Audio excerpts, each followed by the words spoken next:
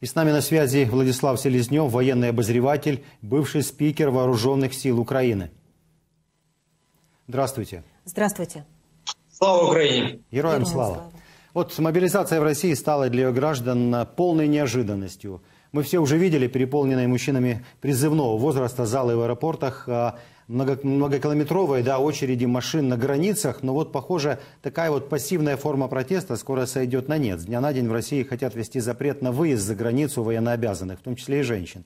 Как вы считаете, такой шаг э, принудит людей идти в военкоматы или наоборот подтолкнет их к бунту из- из-за безысходности? О, русский бунт, беспощадный, не имеющий границ и пределов. Я думаю, что именно это в перспективе ожидает Российскую Федерацию, потому как совершенно очевидно, что тот самый общественный договор, который в свое время существовал на территории Российской Федерации, тут сейчас превращается в пыль. Совершенно очевидно, что абсолютно большинство жителей Российской Федерации готовы смотреть по телевизору, насколько успешно Российская Федерация и ее армия э, приобретает новые территориальные приобретения, э, повергает в бегство врага и ведет наступление. Тут и сейчас мы видим, что эта опция, которая последние 20 лет создавалась, продуцировалась российской пропагандой, она не работает. Поэтому я думаю, что в ближайшей перспективе Российскую Федерацию ждут достаточно серьезные тектонического уровня изменения, потому как то, что достаточно долгое время рассказывали по телевизору, тут и сейчас не работает. Ну вот мы видели, да, протесты уже в Дагестане. Это достаточно массовые протесты. Это не просто люди вышли на улицу, они перекрыли федеральную трассу, там были просто драки с полицией.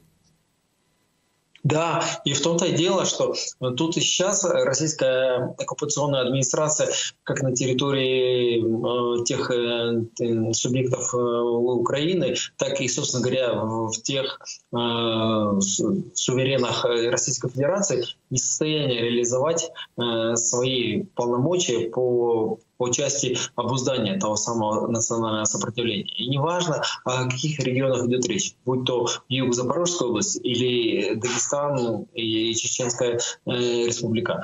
Потому как совершенно очевидно, что сопротивление действиям российских оккупантов, оно будет иметь место э, тут и сейчас, и оно будет в перспективе развиваться. Потому что совершенно очевидно, что э, власть Кремля, власть Москвы не воспринимает как то на территории э, Украины, я имею в виду обе субъекты э, нашего государства, которые в настоящее время находятся под российской оккупацией, как, так и субъекты Российской Федерации, которые де-факто находятся под э, оккупацией российской оккупационной армии.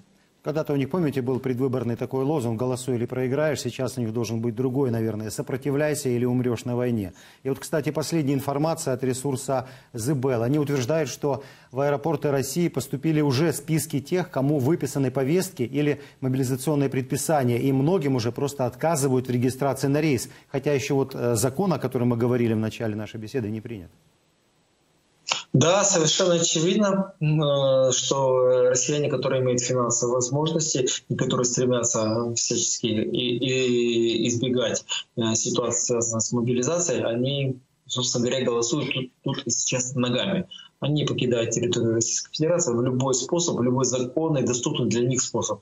И я думаю, что этот процесс будет продолжаться и далее, аж до того момента, пока Российская Федерация не закроет границы и де-факто Российская Федерация не, не превратится в такой себе СССР 2.0, потому как э, ну, очевидно, что абсолютное большинство граждан Российской Федерации не готовы принимать участие в так называемой специальной военной операции. И кто-то просто саботирует повестки, кто-то пытается делать более креативно, соответственно, покидает пределы и простора Российской Федерации, уезжая в сопредельные с Российской Федерацией регионы, страны для того, чтобы избежать той самой мобилизации. Ну, тем временем в Якутске жители устроили полиции мобилизационный хоровод на главной площади города. Давайте посмотрим. У нас есть видео. Попрошу его показать. Так, попрошу режиссеров показать. Э, ну, пока нету. Ну, там э, дети с мамами окружили полицейских, и они скандировали «отдайте наших дедушек» и «нет войне». Э, нескольких девушек задержали, но вот грубо разгонять демонстрацию противникам мобилизации власти не решились. Как вы думаете, почему? Ведь мы помним, да, что обычные полицейские и Росгвардия ну, не жалеют ни старого, ни малого. А есть видео, Я сейчас думаю... говорят, давайте посмотрим все-таки, давайте посмотрим.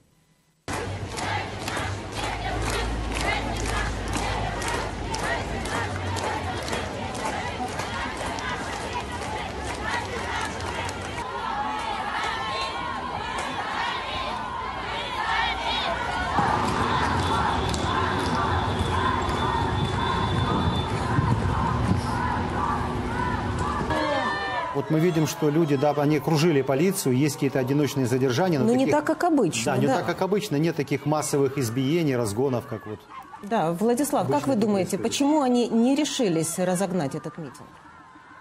Коллеги, но мы должны понимать, что полиция на местах, она есть плоть от плоти российского народа. Они прекрасно понимают и тенденции развития ситуации, и реакцию местного населения на те или иные процессы, которые происходят территории Российской Федерации. И уж коль полиция достаточно аккуратно действует в этом формате, то я думаю, что полицейские совершенно четко понимают и тенденции, и перспективы развития того самого протестного сопротивления, э, которое в настоящее время формируется в разных регионах Российской Федерации. И думаю, что в ближайшее время мы с вами все станем свидетелями достаточно серьезных тектонического уровня изменений как в сознании российского народа и так, соответственно, в, в реакции российского народа на те процессы, которые были инициированы Кремлем, ну, в том числе связаны с мобилизацией. Да. Вот, кстати, о реакции. Да, вот неизвестный в Усть-Илимске Иркутской области решил действовать радикальнее. Если до начала мобилизации, да, вот неизвестные часто бросали помещение военкомата в коктейле Молотова, то вот в этом случае военкова просто подстрелили на его рабочем месте. Давайте вот сейчас тоже вместе посмотрим это видео и обговорим а, то, что там произошло.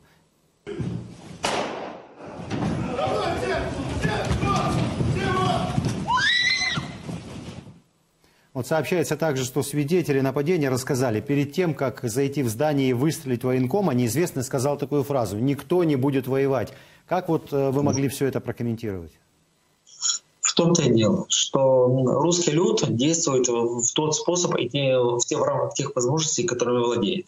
Кто-то имеет возможность использовать там средства диверсионной работы, забрасывая коктейли Молотова, э, военкоматы э, местные. Кто-то использует обрезы, как мы видим в поле окне, э, то самое видео, когда расстреляли буквально в упор э, представителя военного комиссариата российское население начинает создавать такие источники сопротивления. Причем они совершенно очевидны и они направлены именно на непринятие тех самых решений, которые озвучены высшим военно-политическим э, сословием Российской Федерации, направленных на мобилизацию значительного числа жителей Российской Федерации. И думаю, что эти процессы, они не будут носить одиночный характер, они будут систематизированы в определенной степени и направлены на фактически срыв любых. То есть вы считаете, что все-таки это вот не одиночное происшествие, это все-таки не случайность, это вот, возможно, первые весточки возможного бунта, да? Вот и пропагандист Соловьев, вот в одном из эфиров он говорил, что хорошо бы военкомов расстреливать. Вот что же у них происходит-то? Вот, вот совершенно очевидно, в рамках реакции на заявление господина Соловьева начинают действовать отдельные индивидуумы из, из числа жителей Российской Федерации. Потому как совершенно очевидно, что не принимает в абсолютном большинстве российское сообщество э, решение проведения мобилизации, и в той или иной способ они реагируют на эти самые заявления. Вот по информации того же ресурса СОТа, вот решение о мобилизации было принято в тайне от военных. Так вот военкоматы даже не успели к этому подготовиться. Например, ну, заказать пайки. В Телеграме был опубликован записанный разговор одного из военкомов Минусинске Красноярского края. Он жалуется, что в первый же день пришло распоряжение уже в первый день к 18.00 набрать и вывести из города две с половиной тысячи человек. Вот их хватает у них всех подряд, так ведь? Фактически да. Я вам скажу больше фактически та система мобилизационной подготовки была уничтожена на территории Российской Федерации в 2008 году. Именно с того периода э, российская армия начала трансформироваться, они перешли на годичный срок подготовки военнослужащих срочной службы, который ни в коем мере не позволяет подготовить на достаточно высоком уровне э, военнослужащих э, которые в дальнейшем вы пребывали в том самом мобилизационном резерве. И, собственно говоря, Но тут и сейчас Российская Федерация пожинает плоды своей бестолковой э, политики, военно-политической деятельности, направленной на то, чтобы оптимизировать расходы на содержание российской армии. Но мы понимаем, что та самая концепция, которая была избрана в 2008 году, она не работает и она не дает тех самых результатов. Российская Федерация не способна кратчайшие сроки мобилизировать достаточное количество сил и средств для того, чтобы проводить полномасштабную континентального уровня войну, войну, которая по объемам привлечения сил и средств, наверное, является на европейском континенте самой большой со времен окончания Второй мировой войны. Скажите, а им, например, будет чем вооружить тех, кого они сейчас вот призывают? Э, на днях в соцсетях появилось фото ржавых автоматов, которые выдают солдатам. Это э, случайность или э, все действительно так плохо в российской армии? Не все так плохо, но в том числе и ржавые автоматы, и бестолковые бронежилеты, и абсолютно неподготовленная система управления, в том числе э, обеспечения связью э, российской военной машины имеет место быть. Поэтому я достаточно, достаточно скептически отношусь к возможностям российской мобилизационной системы обеспечить достаточно быстрое, эффективное и качественное обеспечение российской армии, которая принимает участие в так называемой специальной военной операции, необходимыми ресурсами. Э, народ согнать можно. 300 тысяч по сусекам наскрести можно. Но будет ли эти 300 тысяч подготовленными, всемирно обеспеченными э, воинскими подразделениями? Я думаю, что нет. Вот тем временем в Изюме, вот что в Харьковской области, там нашли еще два массовых захоронения. Об этом рассказал президент Украины Владимир Зеленский журналистам BBC News. По его информации, предварительно в могильниках сотни тел. Я напомню, 23 сентября завершилась эксгумация тел из массового захоронения в лесополосе города Изюм. Место обнаружили после того, как этот район был отбит у российских войск. Всего братской могилы, из братской могилы да, достали 447 тел погибших. Среди них большинство гражданских, женщин и мужчин, а также пятеро детей и 22 тела военнослужащих. Подтвердились опасения, нашли новые могилы. Вот военные преступления такого масштаба, ну мир не сможет их простить? Коллеги, я достаточно скептически отношусь к позиции и оценке ситуации от наших западных партнеров. Я в этом, в, это, в этом отношении больше э, болею и надеюсь на реакцию украинских вооруженных сил и иных сил обороны, обороны Украины. Потому что совершенно очевидно, что любое зло не наказано, оно кратно множится.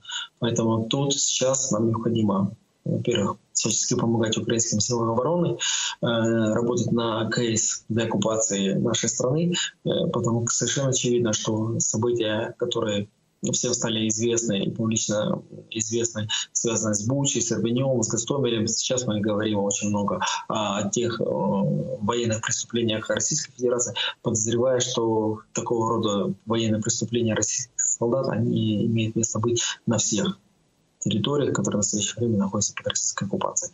Поэтому зло не наказано, оно множится кратно. Поэтому тут и сейчас украинским вооруженным силам необходимо действовать в рамках контрнаступления, освобождать территории нашей страны от российских оккупантов и действовать где-то э, в этом направлении максимально жестко, максимально эффективно, потому как иного пути у нас нет.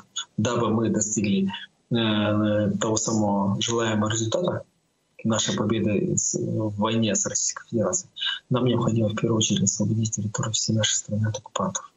Да, мы все верим в вооруженные силы Украины и верим, что они накажут этих захватчиков, этих оккупантов. Ну а дальше, после победы, свое слово еще обязательно скажут юристы. Спасибо вам большое. Владислав Селезнев, военный обозреватель, бывший спикер Вооруженных сил Украины, был на связи с студией проекта «Фридом».